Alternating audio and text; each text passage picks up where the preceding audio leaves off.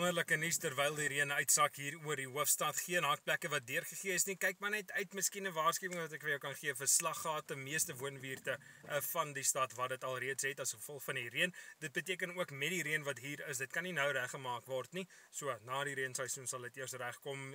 Kyk maar uit, jy kan jou voertuig beskadig. Op die Weselike verbypad kan jy ook 'n groot ongeluk veroorsaak as jy te vinnig deur so 'n slaggat gaan.